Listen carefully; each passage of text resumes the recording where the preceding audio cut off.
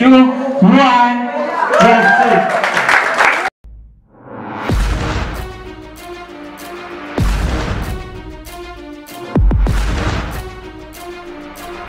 The bad guy. Come on.